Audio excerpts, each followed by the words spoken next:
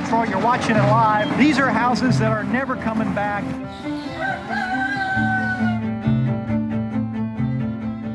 Repent when for the forgiveness of your sin. They keep saying, I, I, are you rich? Are you poor? Are you rich? Are you poor? It's about the sanctity of human liberty and the cost of it if you want to take it. I know it. Keep your head up. Don't look down. We just can't disappear. We just can't. जगह पे किसको कहेंगे हम चाहते हैं कि हमारे साथ कोर्ट चले उनको हम अ, बंद करवाते हैं If he's found guilty, it will break him. to stand up, to fight back, is just incredible.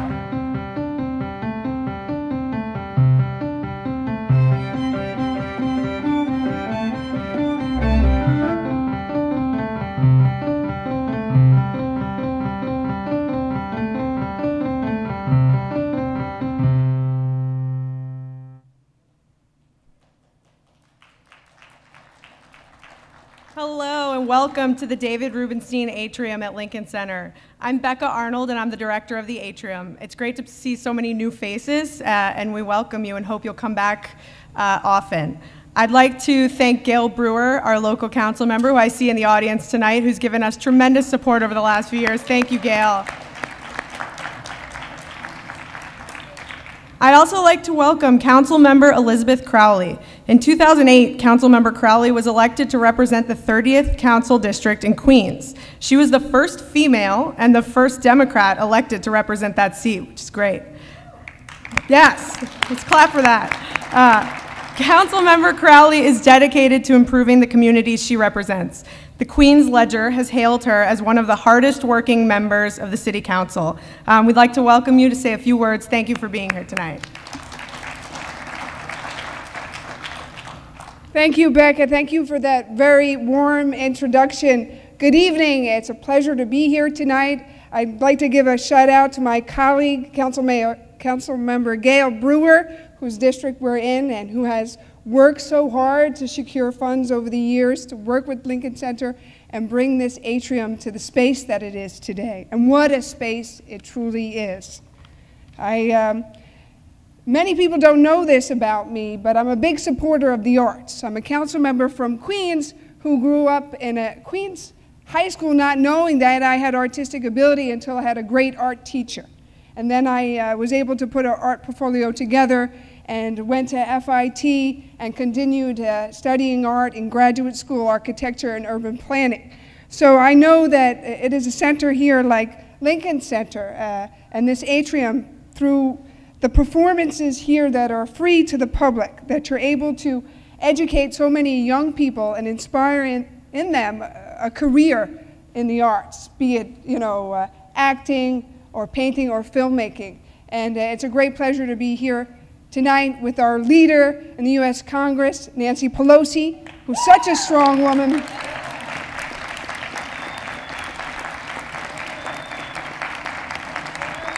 an inspiration to me, I'm sure an inspiration to her daughter Alexandra, who is also a very accomplished uh, woman, filmmaker and mother, and uh, just, you know, a testament to us women that uh, then there's no obstacle uh, that you cannot overcome and never uh, give up on your dreams and keep on working hard to achieve your goals. Uh, this atrium in the last three years has welcomed over 800,000 people and visitors can enjoy food from the 'wichcraft Cafe, free Wi Fi.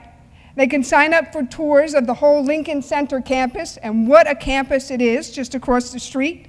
And uh, there are free artistic programs here on Thursdays, sponsored by Target. Councilmember Gale Brewer was telling me what impressive performances there are, and it's hard to get in here. So many New Yorkers do cherish the space. On Saturdays, they have Meet the Artists, where a lot of young people come to understand uh, groups like JustFilms that are here at AtriumFlix. And tonight is the third in a six part screening series here at the Atrium in partnership with JustFilms, an initiative of the Ford Foundation. The series works to advance social justice worldwide through the talent of emerging and established filmmakers. Here to speak more about JustFilms is Orlando Bagwell. He is the director of JustFilms initiative at the Ford Foundation. Mr. Bagwell has a distinguished career as an independent filmmaker.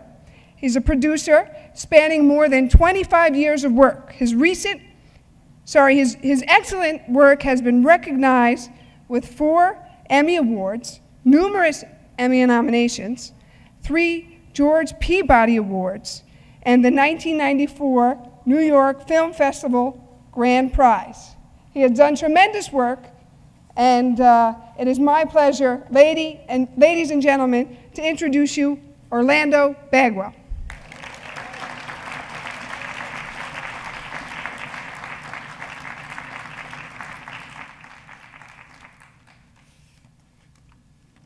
So is everybody ready for a good film today? Yeah. So I always do this. My name is Orlando Bagwell, and uh, I direct the JustFilms unit. And I'd like to ask, how many people here are here for the first time? Raise your hands. Oh, that's really wonderful. That makes me really, really happy. Um, uh, we, um, this, is, this is our third program uh, of the year, and um, I just want to talk to you a bit about uh, what's coming up next before we get into this program.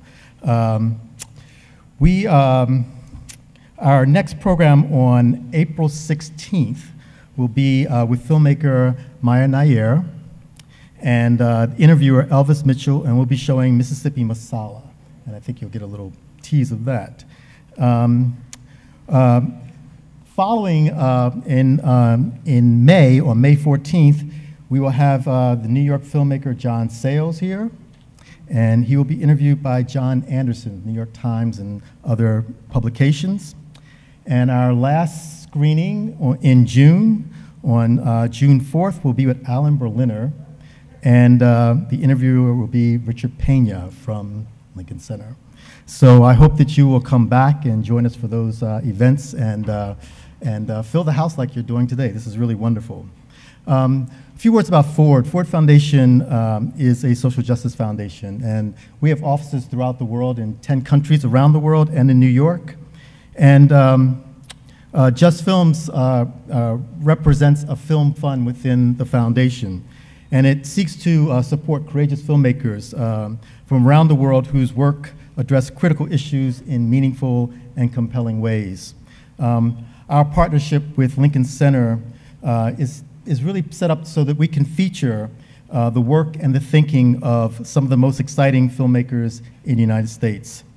And it fits well in our belief that um, the potential, that we believe that filmmaking has potential uh, to be a valuable, valuable tool in the search for uh, justice in the world and a valuable tool in the process of making that happen. So uh, I thank you for joining us today and being a part of uh, what we like to do at the Ford Foundation.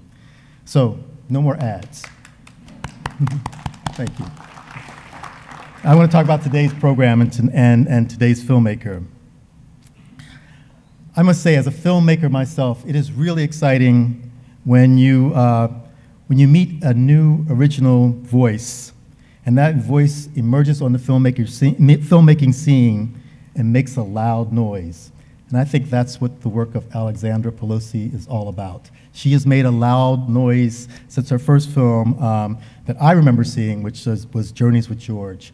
And, um, and it's so, so, so, we're so excited that she's going to be our featured filmmaker today. Um, there is something very intimate and always unexpected in Alexandra's films.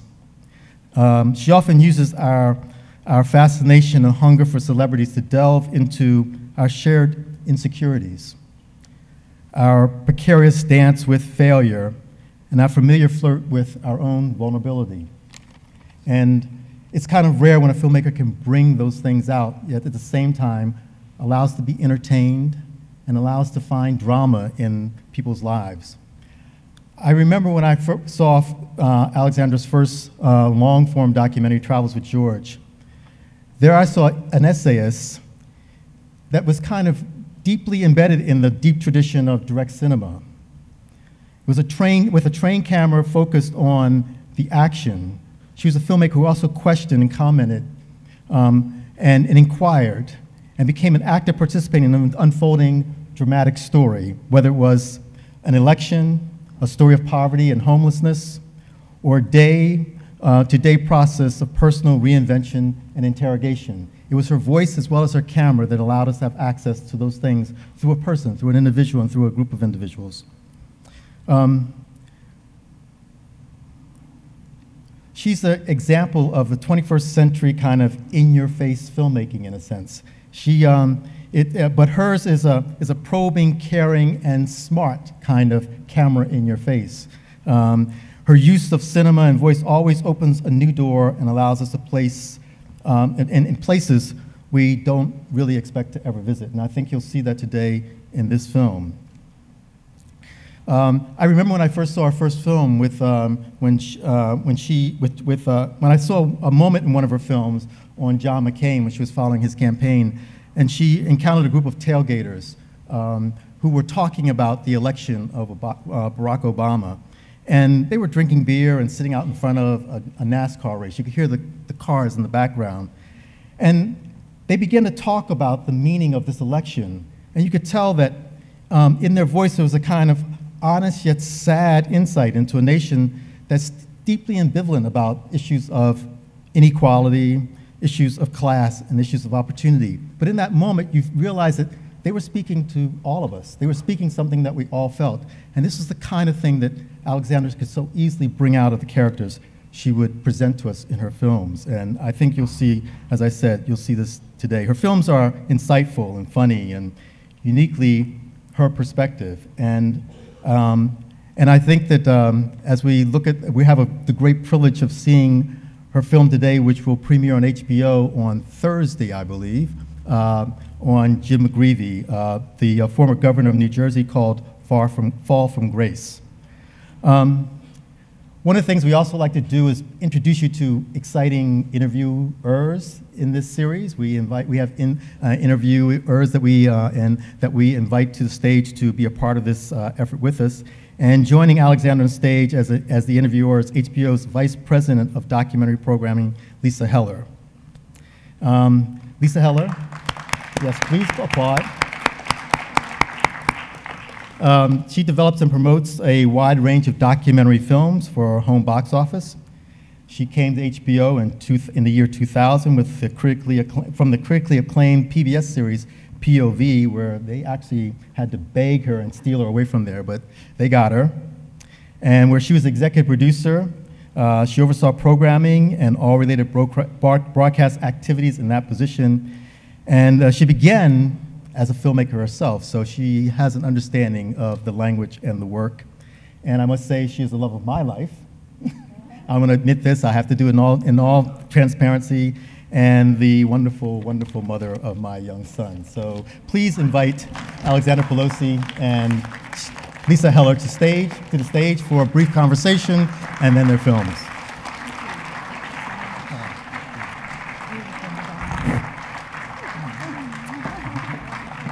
out himself there. I wasn't sure if he was going to tell everybody if he, you were the mother of his child. I know. I'm I was going to, so I I'm just glad he did it so I didn't outed. have to. Alexandra. We've made eight films together. Did he make that point? No, we've made many films together. Eight We've lived many lives together. We've been I've through a prepared lot. so many notes that I'm sure I won't get to. How about hello? Thank you all for everybody. coming. We're really happy you're here. It was going to be really awkward if we had to sit in a room by ourselves and have a conversation. Yeah, Although, although we, we do have that. done that. we, we do. Um, happy Passover, Alexandra.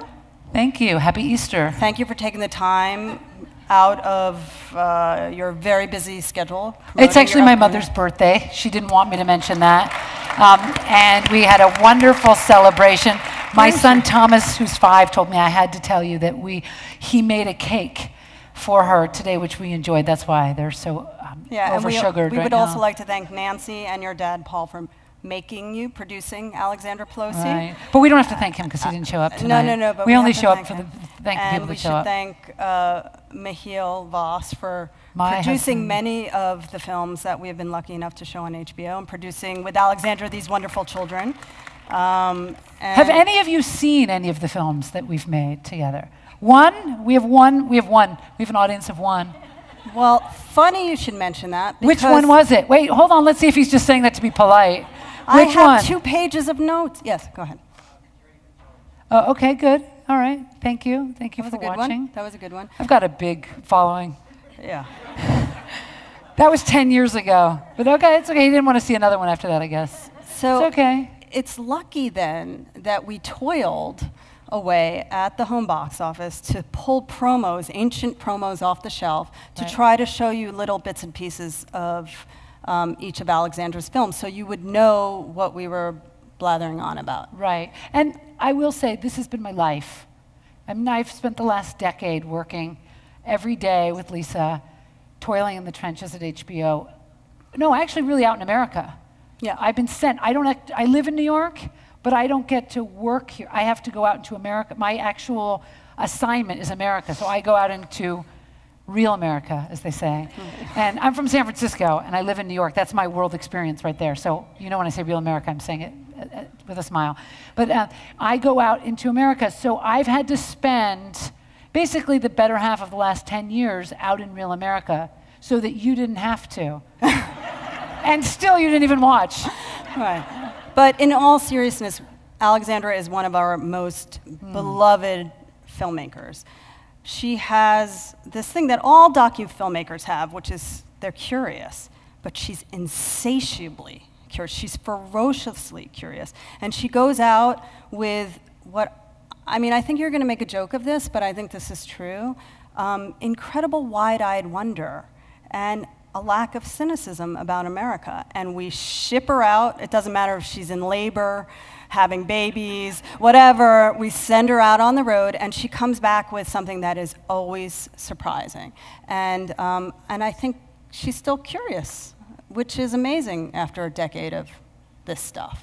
I think the reason why they like me at HBO is because I have a philosophy that no story needs to be more than 45 minutes. Because filmmakers really, I love documentary films. I really watch everything. I remember this got you into trouble This once. got me into trouble once because I said to a New York Times reporter, never talk to a New York Times reporter. Okay. Note I to said, self. note to self. I, what I said was, I will repeat this, this will be on my tombstone. What I said was, people think documentaries are boring. The opening line was, Alexandra Pelosi says, quote, documentaries are boring. and I, th- that's what I've been doing with my whole life. But the point was, people think they're boring because they think, oh, now I have to learn something. Oh, no, now I have to pay attention. Oh, God, I don't even know where this is in It's the world. What, what country is this? I don't, and then that's why they changed the channel, right? And a lot of people lie about, I'm glad nobody here did, thank you. People usually say, oh, yes, I, I've seen your documentaries. And then if I ask them a question, I realize that they haven't. And it's, it's okay, but they, they feign interest. And what they have seen is they've seen me talking about it on Stephen Colbert, or they've seen me talking about it on Good Morning America. But they didn't, so they know enough to pretend that they saw it. Which is why we're going to force you to watch some clips today. But the good news about the film you're going to see tonight is it's 40 minutes. that's true. So but wait, wait, wait, wait, wait. I'm taking this interview back. Good luck. Were you? Let's let's rewind for a minute. Were you always this shy? No, ask seriously. Talk about. Mother, was I always this shy? Smart lady. You grew up in a small town. She tried to rein me in. Here's the thing. I made a movie about George Bush. And, okay, I was a journalist. I'm going to tell you my life story. I'm going to overshare, and I'll try and do So it in like one start- minute or less. You grew up in a Okay. small town of San Francisco. It's not that small town. They have an Okay. opera. They have the San Francisco Giants, the San Francisco good. 49ers. She And- take offense that you're calling it a and were you town. always Anyway, interested in I the grew- media? I grew up in San Francisco, and I always wanted to be a journalist. I, it was the you know all the president's men. I grew up in that era of we idolized journalists. And when I told my mother I was going to be a journalist, she cried and she said, "What have I done to deserve this?" and I had a great, healthy respect for the world of journalism. Wait, didn't you have a radio show at age four or something? You're bringing up really sensitive topics. She doesn't want to go. Oh, I yeah. did have a graveyard shift radio show that I didn't tell my parents about, and then my mother heard me when she got into a taxi cab at like six in the morning when she was going to the airport. It, it didn't end well, that story. How old So- were you when you had that show? High school. Yeah, I used to sneak out of the house. I'm, I can say this now. I'm 42 years old, right? I used to sneak out of the house to do a radio show at KUSF, the university radio station in San Francisco, which was like the best radio station in America. And so I always wanted to be a journalist. I'm going to try and get through this quickly because I can tell my kids are rolling their eyes over there. So what happened was I wanted to be a journalist, and then I was assigned to cover. I spent a decade at NBC News. I mean, I'm talking when disaster struck, Columbine, Lady Diana car crash, uh, John F. Kennedy Jr. Car, they would call me. I was the news nun. They would call me. I'd never have anything going on in my life. They'd say, "You need to go to you need to go to Littleton. You need to go to England. You need to go to." I'd have to go places where bad things happened, and somehow there's an adrenaline rush. I can't explain it. It's like that happens in journalism. The journalist is a great profession one day I was sitting at my desk and I got a phone call and they said, I'm telling you the story of how I became a documentary filmmaker. Okay? Okay. I was sitting at my desk at NBC News in 1999 and the phone rang.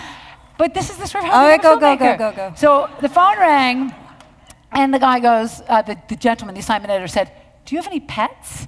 And I said, No. Why? He said, We need someone to cover the Bush campaign. That was how I got the job. I was available. I had no pets, I had no children, I had no husband, I had no connect. So they sent me to Austin, Texas, and they got me an apartment. And I lived, and I covered George Bush from the minute he announced he was running for president until the minute he was sworn in in Washington, D.C. Okay, that's a great intro to this clip.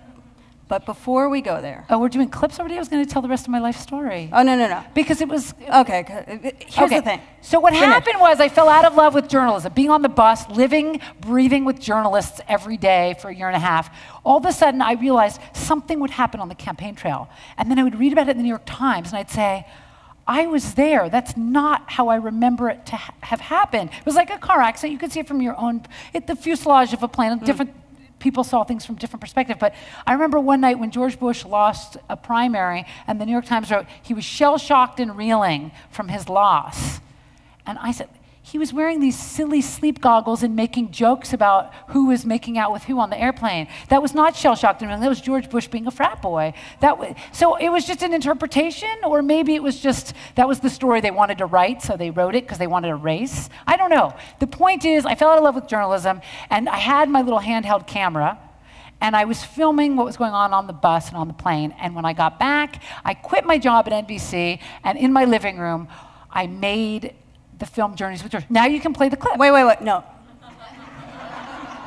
I get to say That something. was a perfect cue. No, it was a perfect cue, but it was also, an, you made a very interesting distinction. The distinction between being a journalist and being an artist slash filmmaker. And I think the folks at Ford and Lincoln Center are interested in you as an artist. Did we thank the Ford Foundation? We didn't. Did we? No, I'll do it at home. Okay. did we thank Did we thank Lincoln Center? No, we, we should thank Lincoln Center. For giving And the Ford Foundation. For giving, and the Ford Foundation for giving us somebody to talk to, because we'd be having this conversation here with or without you. That's true. So. I want to thank you Maybe in the for, back for, for, wine, for getting yeah. them to show up. Yes, for and the also work the. HBOers who pulled together to get us here tonight Ashiba, Lana, Jerry, everyone who helped us get here in the middle of a busy press week. Thank you. Well, okay, we can play the anyway, clip now. So, no, no, no. I, Orlando, is this true? We're supposed to talk about Alexander art. We're talking about art. We were talking about falling out of love with journalism, segue into I had a story, I wanted to tell that. So I wanted to share that experience of what it was like to live with the presidential candidate. Right. And then I was saying, okay, I'll talk about the art. Okay. What's your It was the only film he'd seen. One guy had seen that film, just one guy. Oh, so that means it was the only art we, that. All right, Godfrey, let's just show the clip. I think it's the only thing to do. Oh.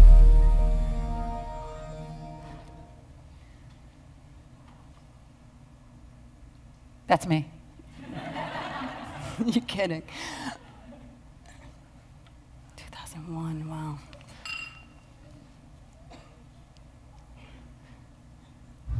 But we start today, right here, and I hope you'll join me. God bless you all, and God bless America.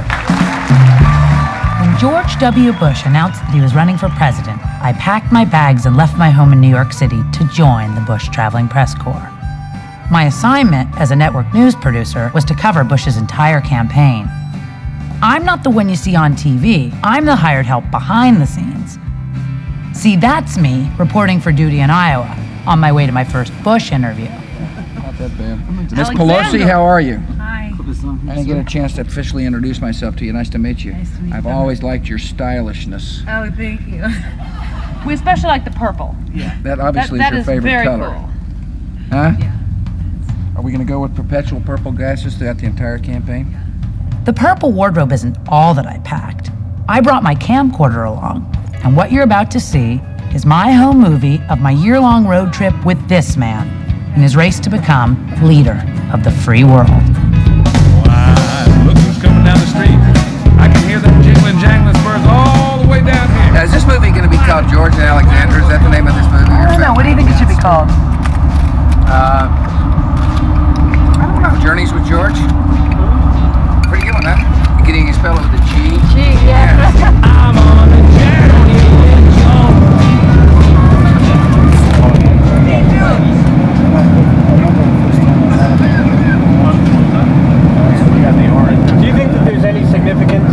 To the orange rolling slump that you're in? No, no, wait a minute. First shot all the way down the bottom. And Plus, Alexandra, I want you to know, we dedicated the orange today to you. It said, we love Alexandra. It didn't actually say love. It had a heart on it. That's a universal symbol for love. You're the orange of my eye. But it's conditional love. One condition is that I can't ask him about the record number of executions taking place in Texas. You're sure, you sleep at night knowing that everyone that has been put to death on your watch was completely guilty of that crime. Alexander, let me put it to you this way. I'm sleeping safely, soundly at night. Thank you for the question. See you all later. This is what happens when you bite the man who feeds you. I'm not answering your questions. Why not? Because you came after me the other day. You went below the belt. So now he's teaching me the rules of engagement. If I throw him a hardball, he'll push me into the outfield. And it's my job to maintain my network's relationship with the candidate. That's art. what is it? What do you feel when you look back at it now? I was trying to show the symbiotic relationship between the press and the candidate and how you live on a plane. They feed you every single meal, and you're supposed to report on them, and you're supposed to ask them tough questions, but then you have to go and get back on the plane with them. And they can throw you off the plane if they want, but you, it's in your interest for your candidate to go as far as possible. And this is some dirty little secret about journalism that journalists will not tell you. They're all secretly rooting for their candidate because they know if he wins, they get to be the White House correspondent.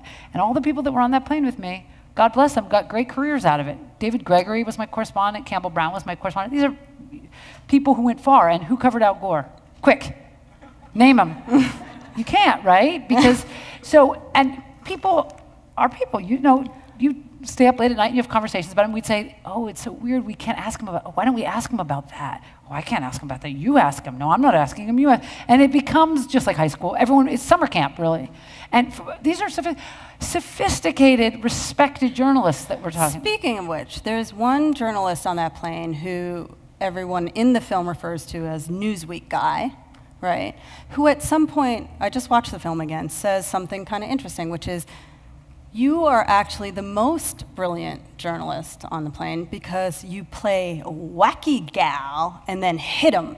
Okay, but what's more interesting than that is what Richard Wolffe says on the plane, because they probably know who Richard Wolffe is. He Yeah. works at NBC, MSNBC. He said at the end of the movie, I feel like we all just drank the Kool-Aid and we all just reported what they told us to report.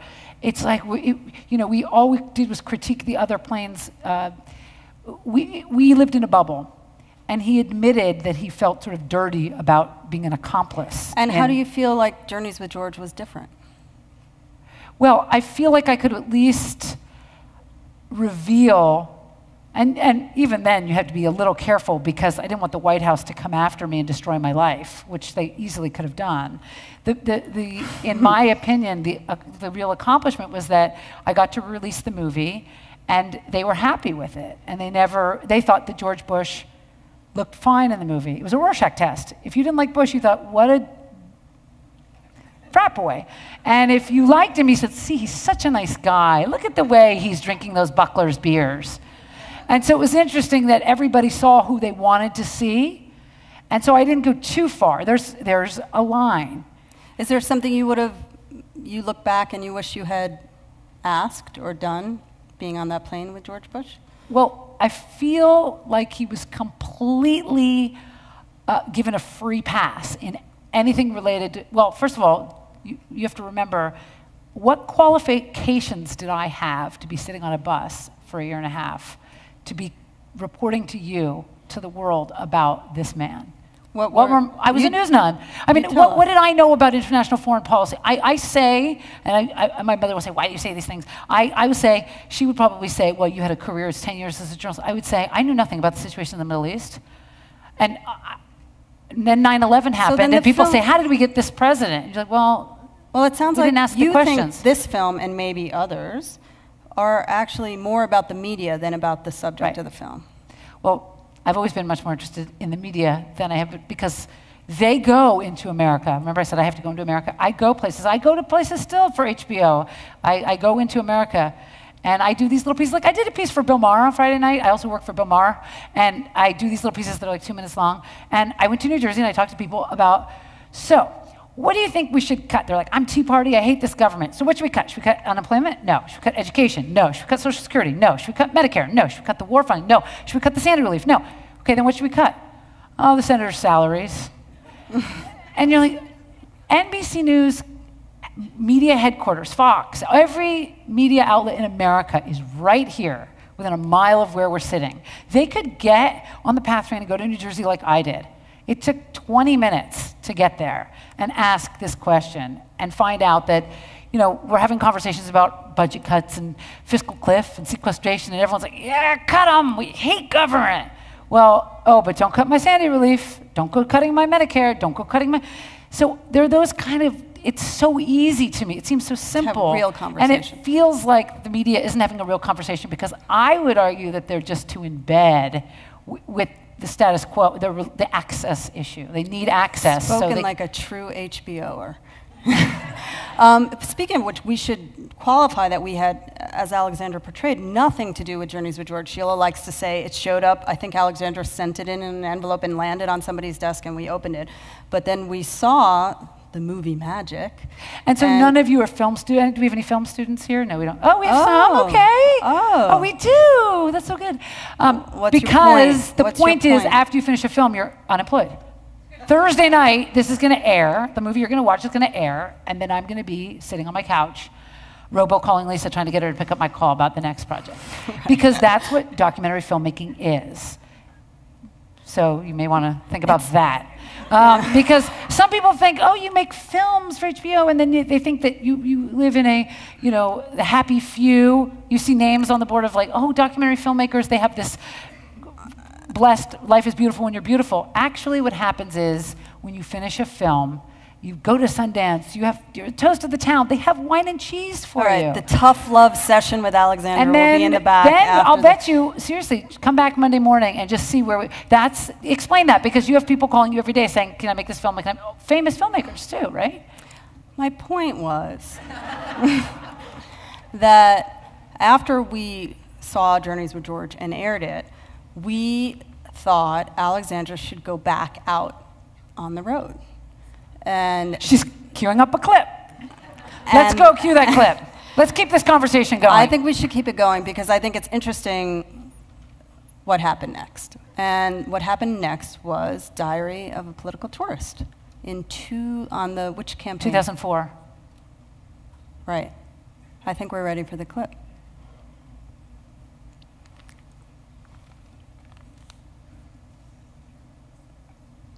Notice all the time in between each film too. It takes a long time to make this thing. In 2000, I took a year long road trip with George Bush, and we made a movie together. This time around, I went on the road with the Democrats to see what it takes to try and kick the leader of the free world out of the White House. Are you going to be the star of my next movie? Yes. Do you think your husband's a movie star?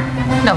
Am I the next victim? In my vision of America's future, there will be a place for fried Twinkies. Everyone in their never wanted the chance to race against Bush. Somehow, this Vietnam War hero ended up the last man standing. You can't take a private walk. You know you're going to get 50 camera crews behind you if you do. I didn't know that. People are expecting me to show them a side of John Kerry they've never seen. Okay, here I go. Alexandra Pelosi's Diary of a Political Tourist. She's dangerous with this camera. Okay, I have an interesting point to make about this film. I was going to ask a question. This is the only film that I have made of the eight films that I've made for HBO that is not out on DVD. That, that I mean, I know you're all dying to rush to Netflix to get it, but you can't. I'm sure it's on HBO. Because Go. I'll tell you why. Yeah. What did I tell you about when your candidate wins? At least one guy saw that movie. When, your can- when the candidate you're covering doesn't win, it's a different story. And there, there's just not the demand. There was never this great demand. After the election, HBO didn't say, oh my, if he had won, there would have been this insatiable appetite for anything John Kerry.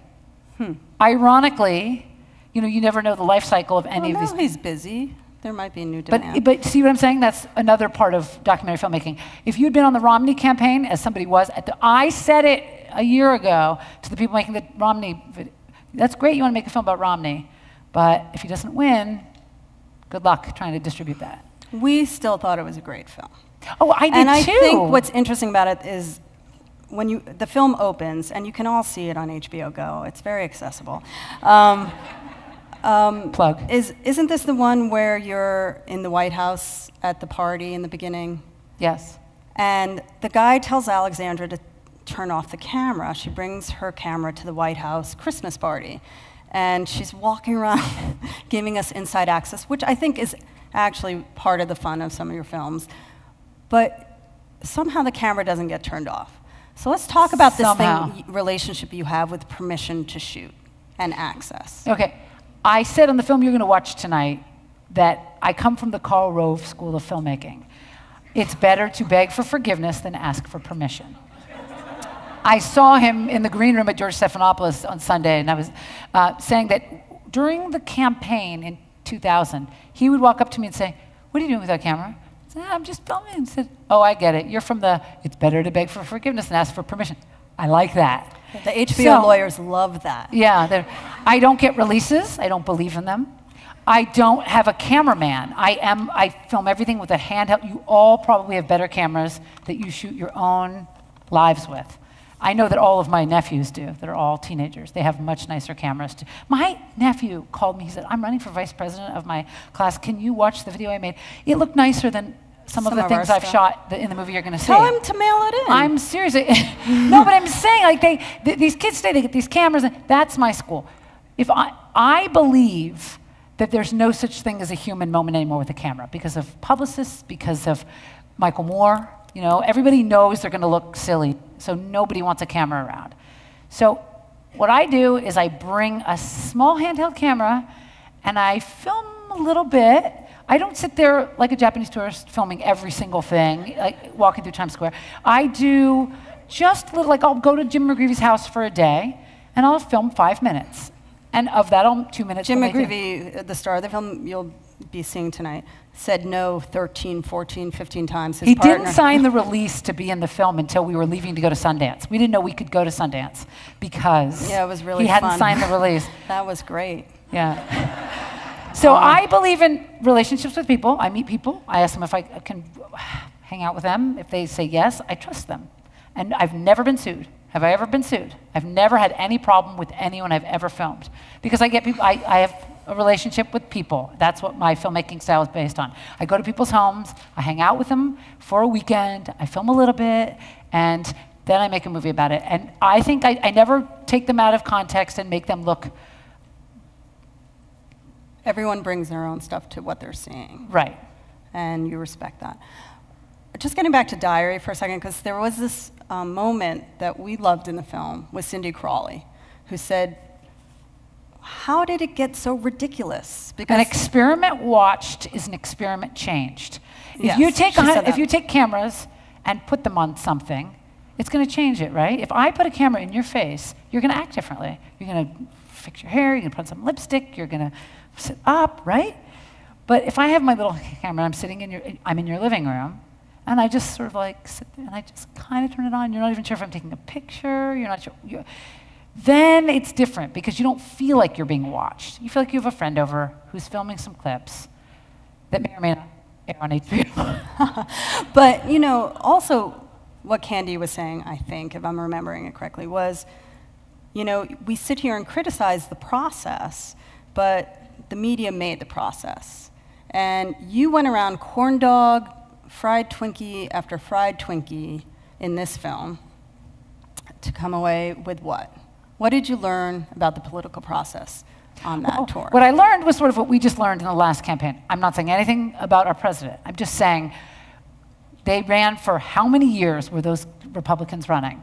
And you think, oh my, these jokers, one after the other. Remember Herman Cain? You know, all they'd have a flavor of the month. They fell in love with them, and then, and and you realize just something about the political process, which is they fall in love, and then they follow. They're, then they go, they start to think it through, and then they think, well, who can win? And by then, they've damaged the candidate. They, they're all so damaged that none of them have a chance, Mhm. right? If, if they had been smarter about it in 2004 or in 2000, I'm not saying there's anything wrong with the candidates that were running. I'm just saying, it, I really think it's the media I mean, it's puts the Howard them on the Dean cover of the example, magazines right? and says, "This is the most. This is the flavor of the month. This is who's popular." This Michele Bachmann, she's the front runner. Really? We all knew Michele Bachmann was never going to be president, but the media has a way. They put their, they put her on the cover of the Time magazine. Right. They said she was. And in the film, we saw Howard Dean. What, did, what was your line? It was death by a thousand edits with the scream, right? I mean, it was something that the media contributed to in terms of where we landed with him. Right, and now I think it's so scary that what you have to endure to run for president has nothing to do with substance and nothing. And I'm not saying that there's anything wrong with our candidates. I'm just saying. And it's your fault, the media. I would say. I would, I would argue that it's the process because it's like a, you're, you're making them jump through these hoops that are total. The job description doesn't fit the job. I mean, Yeah. make them eat fried Twinkies on a stick. Yeah. That's what the job description is. Go to the Iowa, St- Iowa State Fair and eat as many fried Twinkies on a stick as you can. Mm-hmm. And the reporters are going to say, How many did you eat? And oh, well, John McCain ate this many, and Joe Lieberman ate this many. And they make it somehow they have a way of trivial, trivializing all of it and making every little word you say they can use against Right, you. And it's not an interesting conversation. It's just, you know, the media likes to stir the pot and turn it into Let's see the next. My mother No. says it's time to see the next. Okay, clip. so are you ready to Maybe find she God? needs to get in the chair. Are you ready Should to find? God? Can I go back to my George Bush story? So No, I no. like to visit George Bush now So that I made a film about him and we're friends. So I am friends, you know what I'm saying. But so I went to visit him and he said to me, this many years later, he said, I always liked your mother because she never broke your spirit. And I thought that was so telling about his mother. But anyway, Okay, now we're going to find God with the evangelicals who were so, you know, such a big part of that. Right. So the reason I made the next film was because in all of these elections, they always talk about the power of the evangelical Christians, not this past election, but remember in 2004 when George Bush was reelected, the media narrative was the evangelical Christians, they're so powerful. So I was, who are these evangelical Christians? We've got to go meet some because I don't know any in New York, although you have one in your office answering your phones. Time to cue the clip. Oh.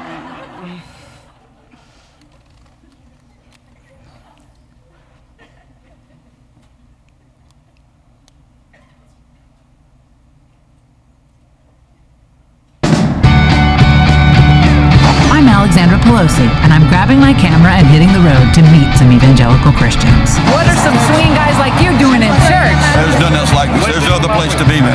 So you're all high on Jesus. High on Jesus and ain't coming down. This looks like it hurts. When you think of the pain Christ went through on the cross for us, this pales in comparison. Do you know all the surveys say evangelicals have the best sex life of any other group? Is this the church of the future? I know we are. Evangelicals lead many different lives, When God gets a hold of your heart, He can change a lot of things. but together they're a formidable force in our culture and our democracy. Evangelicals are the largest minority bloc in this country. I don't think you can win without them. Al Gore learned that, and Hillary will learn it in 2008. It's a new day. I really believe there's a spiritual awakening taking place. Friends of God, a road trip with Alexandra Pelosi.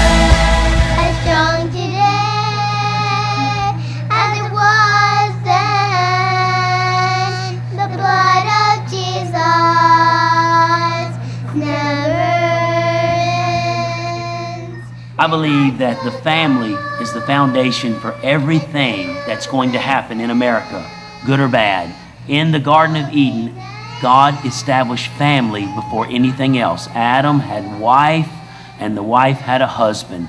There was one man, one woman, and it was for the procreation of the human race. That's what God established first. Look, the gang is all here. Why don't we all get in good order for to get a good picture of us all here? Yeah.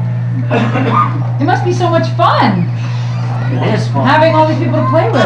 Just make you want to have a dozen children now. What's wrong with American culture today is we have left biblical principle. 50, 60 years ago, the American family was mom and dad, and there was 8, 10, 12 children. That was the norm.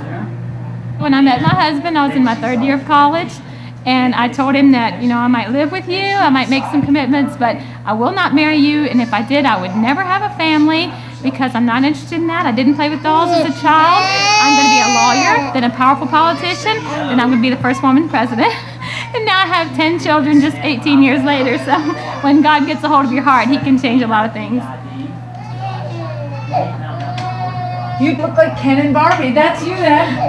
Now this is you now. Yes. This is before. This is before and after. That's right. You know, when, when families are right, then the church is strong, then the nation is strong. I want my children in the first formative years of their life to, to learn the Word of God and the principles of true Christianity. I homeschool my children because I want to pour in them truth, not error. So you have your you have your own school here. You've got ten. Yes. You've got your hands full. Yes, I love it. It's the best part. If I had someone else to do the cooking and cleaning, we'd just school all the time. And what a what a way to strengthen your relationship with your children. It's just been wonderful. It's really it really has. I just don't know anyone else that has a better life than me. It's the greatest. I mean, every minute it's something that's eternal. I get to enjoy every minute with my children. Now there are times, you know, that I'm just like, what have I done? I can't, I can't handle this. I can't wash another dish. I can't cook another meal. But if I could change anything around here, it would only be the noise level. What's funny is that most people I know would think being home all day with ten kids is a nightmare. Well, you know, if your family is fitting into your life, like, you know, your life is your work or your club or your hobbies or whatever, then your family is, is hard to deal with. But if your family is your life, even if there's 15 of them, that's your life. And you grew into it, you know, one at a time. And, and so it's just a joy. It's, it's wonderful. It must be weird having people like us from New York, like the, the hell on earth. It must be weird. Yeah. there's hill, there's there's hillbillies just as bad as the New Yorkers. So, what do you want to say about that scene? One of the guys putting this reel together said that was one of the most important. You, you told him it was one of the most important scenes in your career. Well, the reason Why I would they let I you think in? it shows I have a respect for those people. I'm not mocking them. I genuinely believe being home with children all day would be a curse. but I don't have a nanny. I raise my own kids, right, guys? I mean, I, just take them with me because she had she made such a good point in that movie. She says, "Well, you guys are just fitting your families into your life. You don't have your values right." And that was really, um, I thought, How did you find them? How did you get in there? Why did they let you in? you're saying, I, no wonder I've never been invited to your house. okay. I went to church to watch Ken Ham, who's a cre- he has a creation museum in Kentucky. He was teaching at a church, and he, they were singing these songs to the children about how there's no such thing as dinosaurs. Dinosaurs were in the Bible. There's no such thing as evolution. It's all intelligent design. And they sang songs about how behemoth is a dinosaur, a dinosaur is he. To make No the point, no intelligent design. okay, intelligent design is in the Bible. Therefore, everything in, is in the Bible, and the, the earth was started So right there in the met Bible. this family. I met them at the church when they were singing songs to the kids, and then I said, um, "Can I come home with you?" Was that so weird? Yeah, yeah. Um, but they were very But see, open. New Yorkers, if I walked around this room after this and I said, Hi, can I come home with you? Probably all of you would be like, Oh, God, no. But in America, they let me spend the night. They're really welcoming. I'm always surprised. Now, this, at this point, I'd met my husband, and I was traveling with my husband. And we would go into people's homes and they would invite us to spend the night. They'd say, stay for dinner, stay for a week. And we were always sort of stunned by how nice they were to us. Yeah. Because we knew that they would have, like, if, if you were walking through Times Square and you saw some couple from Kentucky with 10 kids, would you say, why don't you guys go spend the night at my house? But they somehow did, did for us, which was. Yeah. So another nice person you met was Ted Haggard in this film. Okay. So Ted Haggard at the time was the head of the National Association of Evangelicals. He was the spokesman for the evangelicals in America. Mm-hmm. And we made this film that was a, just a nice portrayal of evangelicals, what they believe, who they are. And we delivered it to HBO because I was pregnant with my son Paul. And I had to go into labor, and you know, with movies, you can go on for years. I mean, you can edit forever. You can just keep going. And at some point, you have to just give birth and say, I'm done, right? So I said, actually, my son is about due, so I'm going to have to wrap this film up. So I went and delivered the film to HBO. I'd worked a couple years on it. At some point, it was like, I think I got it. Enough, yeah. And you know, there's always that's the thing with these films. You don't know. You could you could film for anyway. So I delivered the film to HBO. I went to St. Vincent's Hospital to give birth, and then they called. The fall. Um, Ted Haggard. It was in the news. I was literally in the hospital, and I saw evangelical preacher Ted Haggard admits to going to a male prostitute and doing methamphetamines. Excuse me. I just made a film in which he's the moral authority of the entire film. The moral plumb line. So I had to go back into the edit room uh, with with child. The next day, yeah. Right, like yeah. with it was like Yeah. brand newborn. Yeah. That was when they just slept a lot. Yeah, and we And sit there and few re-edit. parts. And then Pastor Ted was kicked out of the state of Colorado. His church said you have to leave Colorado. You're excommunicated. Whatever it is, it's leave. And he moved to Scottsdale, Arizona. And you cannot make this stuff up. Let's My- watch. Let's watch. Wait, but my sister calls me.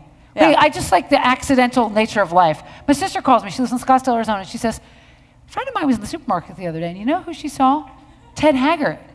Because it was news that he had been excommunicated and sent off, but no one knew where he was. He was like in the witness protection program. exile. And my sister's friend saw him in the grocery store. And so I think you called and said I. I said my sister. So Ted I Haggard." got on a plane and I went to Scottsdale, Arizona, Yeah. and I went looking for Ted Haggard, and I found him. Scottsdale, Arizona. It's easy to find him. And so Let's we- watch the clip. Okay.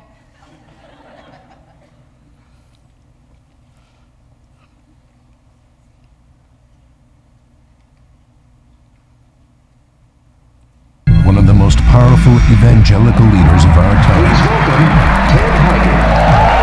I'm living a pretty good life. I love this. But one shocking scandal brought his world crashing down.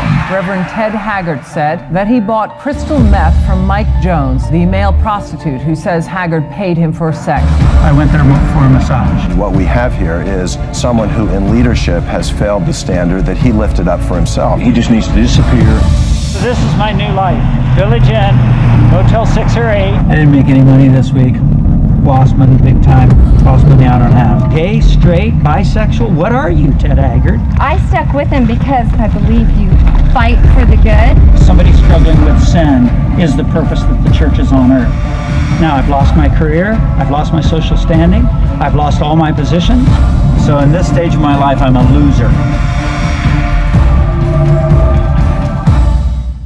Hmm, That's quite a promo. So that's Ted. So you're so I found him at your golf sister's course house. in Scottsdale, Arizona, and I walked up to him and said, Pastor Ted, what happened to the Poor Pastor crowd? Ted. Where did on top everybody of everything, he has to run into Alexandra the, on the golf course.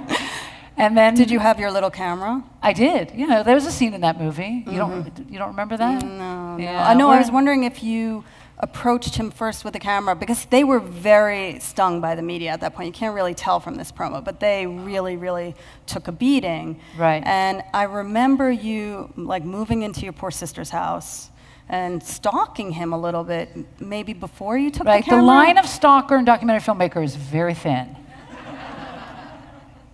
It is. It is. But eventually, he trusted you with his fall story. I always thought it was because he was in love with my husband. He always, I, in that case, I have to give credit where credit was due. He, he always was sort of interested in. Remember the one scene? We had a scene we wanted to show you, and I, want, it was Pastor Ted in out? bed, reading the Bible and talking about, and I turned out, I said, we can't show them that. I didn't even film that. My husband filmed it. Because by then, my husband and I were, you know, it was, it was interchangeable. Here, you take the camera. Oh, no, you don't. No. And, and, and was comfortable with both of you. he was comfortable with both of us, but I thought he, well, he got in, he took his clothes off and got in bed and decided to open up with, when my husband in the room, so I decided to leave.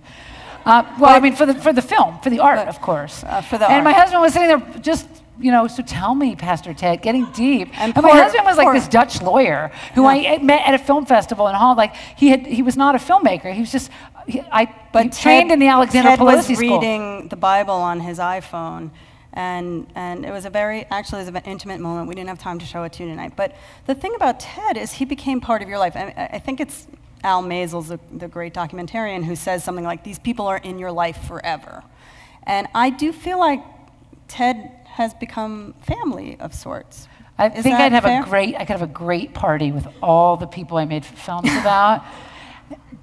the thing I think is, if I don't know if you've noticed yet, but somehow you started in media critique and with a presidential candidate, then president, and somehow the conversation keeps going. There, there is a through line. If you sat, not that I'm saying you're going to, but if you sat and watched all the films back to back, you'd see a, a, they all reference back to each other. There is a conversation that's going on with the people who watch my films.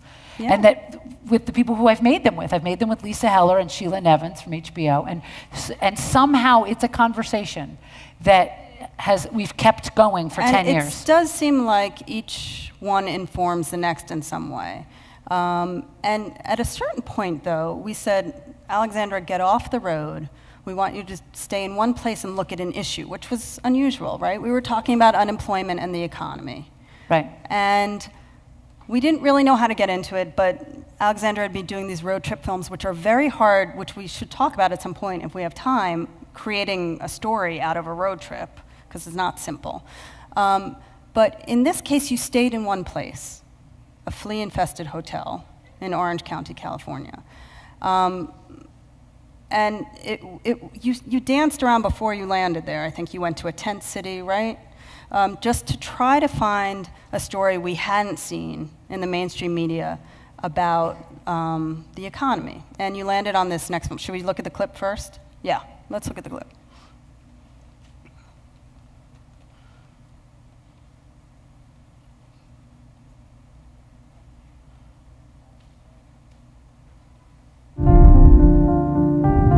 What is home to you? Home? I don't really know what that means. Once you're here in the motel, it's so hard to get out. You know, you're paying weekly, and with the economy, it's difficult. What's it like living at the motel? It's like you're in hell. If you could have one wish come true, what would it be? Redo my life. The economy's going down. We're not feeling it because we're already there. We have to be together no matter what. We have to live in the same room. There's no walls besides the four walls that we all share. God, He'll only give you the things you really need. So, what do you hope for this summer? I hope for a house. So this was very different. That's when I grew a heart because I had kids. Well, I think that's actually an interesting point. I, made, I brought my kids with me to the homeless motels in Orange County. It wasn't just one motel; there were different motels. We were But how at. did you find that? I forget how you landed. How you landed Well, we there. like the fact that it was Disneyland. These are all hotels that are across the street from Disneyland. And so it's rich poor. You know, it's one of the Happy, richest places sad. in America, happiest places on earth, and still, we're getting the wrap up sign. Okay. So let's wrap it up. No, no, no. Finish a few minutes on homeless because I, I, I think it's a very different film from the rest of the pieces. What was it like to be your What was interesting was- shy, demure self with children? I mean, how did you shape? How did your your approach change when you were dealing with kids? Because Well, this was dealing with people, really living with people and having to deal with their problems for more than just a weekend. I actually knew these people and watched them, and it never went up. It was just going down and down, and you wanted to help, but you couldn't. But what was interesting was that I had my own kids there, and they didn't really notice that these kids, they would say, Why are their feet dirty? Or how come they have holes in their shoes? But they didn't really notice the, you know, the class thing. And it's funny because, you know, your parents always said, you eat your food because there are people starving in other countries. It's like, no, eat your food because there are people starving in Orange County. And I remember the time I got really mad at my son Thomas when we were going to a soup kitchen for dinner Because I thought, well, you can't just go film and then go stay at the Ritz Carlton, right? That's weird, right? But so all the kids were getting bed bugs, and it was like a, not a good place to have kids. And so I thought it was time that they leave. And but I wanted them to go to the soup kitchen for dinner, and he was crying, and he was like two years old or something. He said, "I don't want to eat in the soup kitchen tonight." I was like, "Yeah, well, lucky for you, you have a choice." You can go back to the Holiday Inn and have a real Mm-hmm. meal. These kids don't have a choice. And so that was, th- this is when the films start to get really sort of deep and heavy and weigh on your heart. And these are the ones that live with you. I And don't live with Ted Haggard every day. I live with these kids. Yeah, and these are the live with these ones you would call in from the road. Sort of, I think I'm bringing a couple kids home with me, um, and you really um, staying in one spot for longer than a, a few days made a huge difference. And so I think we should. We, we're getting the wrap up sign. We're going to have to skip a couple of films, but. They're on HBO Go, um, or they will be by tomorrow somehow. Um, Well, let me bring but it to the movie they're about to see. Yeah, Let's because I think we should just quickly talk about Jim McGreevey, which you also stayed in one place. And unlike the other films, this is a film we didn't want to do. Um, Alexandra, for some reason that I still don't quite understand, became fascinated with the former governor, Jim McGreevey, the former governor of New Jersey. And we said, Really? Why? Go back out on the road, do your thing, do your wacky road thing. Um, and, and you insisted on this, and you went out on your own, really, and, and came back and said, Look at this, and we saw the magic. But what, why were you so committed to Jim and his story? It brought all of the films together in some strange way. It had the politics, it had the religion, because he wants to be a priest now, and he was tortured. Why he says he stays in the closet, you can challenge that, but he says he stayed in the closet so long was because of, he was raised Catholic, and that put a big stain on his heart. And it had the women in prison who all had kids at home. And so, ironically, it, it, it captures movie all the different topics that I had been interested in in one film in less than 45 minutes. which is a perfect way to start the 45 minute film.